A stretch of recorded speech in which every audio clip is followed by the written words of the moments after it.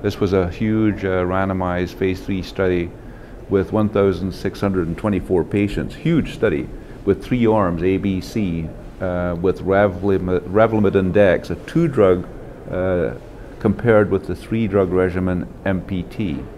And it was pretty convincing. And I think in this case, there was a pretty strong unanimity in the room. I think everyone was pretty convinced that the RD, the two drug cocktail, was definitely superior to the three drug MPT. And so, very effective uh, for the treatment of patients over the age of 65. And I think that rapidly we are expecting that the, these data will be sufficient to lead to the approval of the two drug RD uh, certainly in Europe, uh, in, uh, by the EMA, EMA, um, the, the, the combination of RD is actually used frequently in the US off-label, although it's not approved in that setting.